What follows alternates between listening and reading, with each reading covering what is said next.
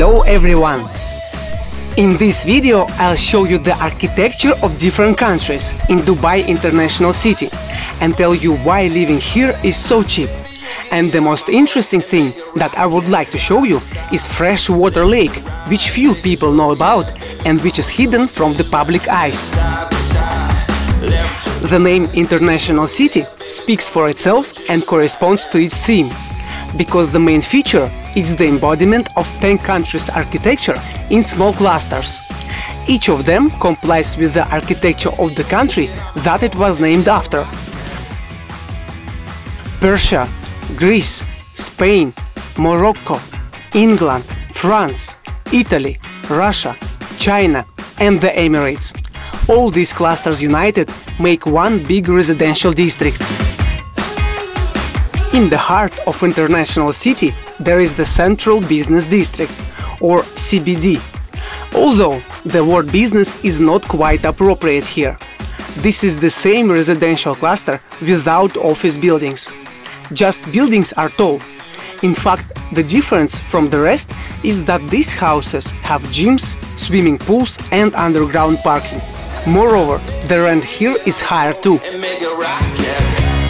Despite the symbol of internationality in the name of the region, there is no ethnic diversity.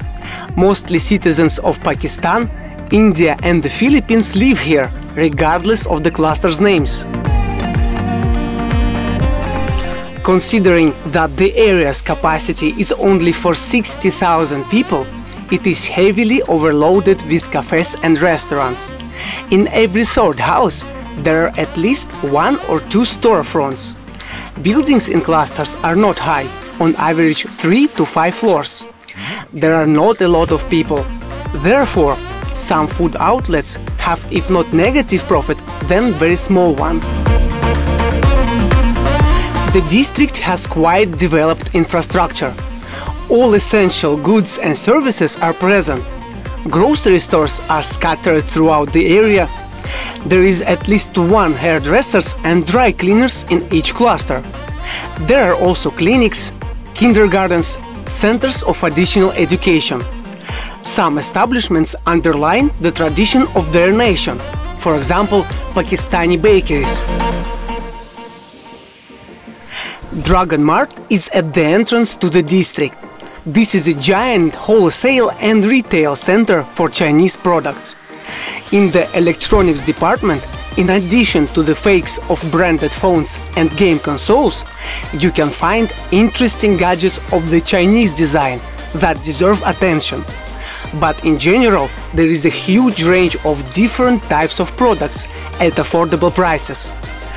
Dragon Mart is more than a kilometer long.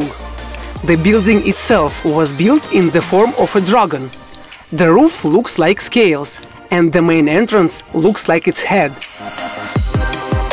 The cost of renting in International City is very low. For a studio flat you will pay $5,500 a year and for one bedroom apartment $9,000. A bed space will cost only $1,000 a year. International City is far from the sea and the city center. This causes low rental price. Also, there is only one kind of public transport. It's a bus. It takes an hour to get to the metro station. The big mystery is the freshwater lake. It is hidden behind the high fence with the barbed wire. Tourists do not go here, and most of the inhabitants of Dubai do not even know about its existence as technically the entrance to this territory is not allowed, but those who came are not out. And here all types of fishing and hunting are prohibited. What is the secret? It's because this lake is a bird sanctuary. It is called Al Warsan.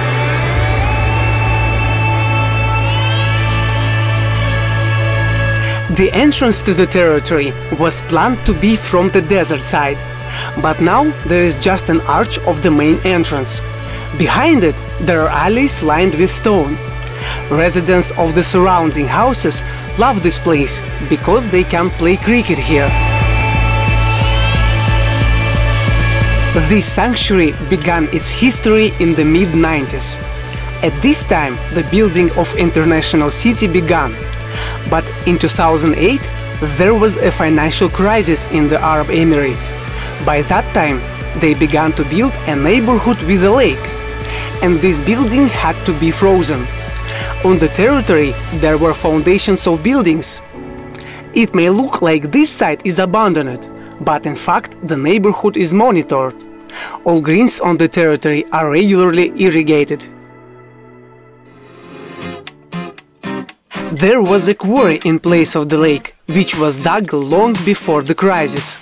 Its average depth is 3 meters. From the beginning of construction, excess fresh water was poured into it from the treatment facilities, which are nearby. The quarry was filled and turned into a lake. As the water pouring continues to this day, the lake does not dry up. Over the years, an entire ecosystem has formed around it. Many species of plants, mammals, fish and reptiles grew here during last 15 years. And most importantly, the lake attracted the attention of a large number of birds. There are more than 150 species here.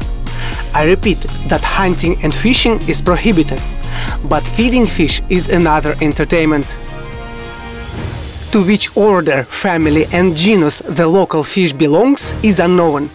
Underwater photography shows similarity with river perch, although this fish is not a perch.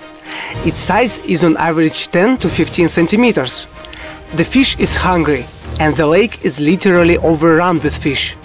You can feed her a whole loaf of bread in just 5 minutes. In the evening at 6-7 o'clock there are traffic jams on access roads. Everyone is returning home from work and you can feel vitality.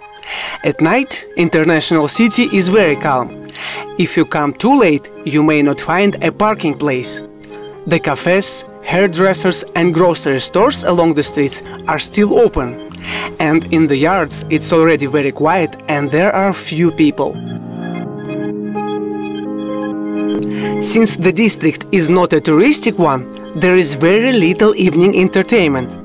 There is only one bar in the area, which is in the only hotel on the outskirts. That's all about International City. If you liked it, give this video a big thumbs up and subscribe. It was the Bald Guy. Bye!